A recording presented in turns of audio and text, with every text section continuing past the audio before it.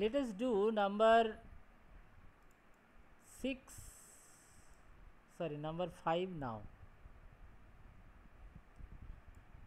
6500 was divided equally among a certain number of person. Had there been 15 person more each would have got 30 less. Find the original number of person.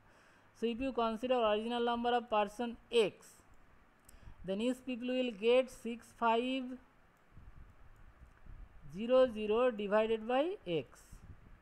Now if there is 15 persons more then each will get 6500 by x plus 15 now if you subtract these two this minus this then it will be 30 because here it is get uh, written. Here it is written 30 so this equal to 30 if you solve it then you will get value of x 50 x cannot be minus 65 because x we have considered number of person.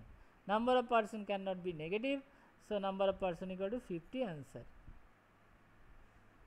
That's all